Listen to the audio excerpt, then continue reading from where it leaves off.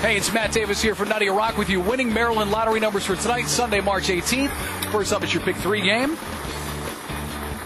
And we start off with a one. Next up, a three.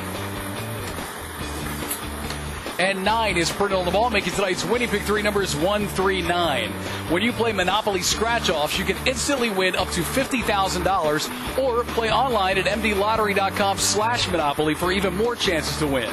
First entry deadline is 9 a.m. March 26th. And moving right over to the pick four game, drawing official Brian Pullins is ready to go. We start off with a four. Next to three.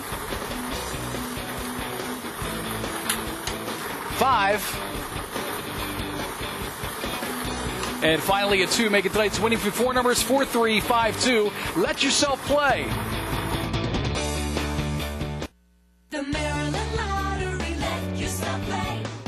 Hey, it's Matt Davis here for Nutty Rock with lottery drawing official Brian Pullins. And it's now time for your bonus match five drawing with a top prize of $50,000. Here we go with your winning numbers 34, 14, 31, 13, 2, and the bonus ball 25. Once again, that makes your winning numbers 34, 14, 31, 13, 2, and the bonus ball 25. Check out the Maryland Lottery news, events, and winning numbers at mdlottery.com and let yourself play.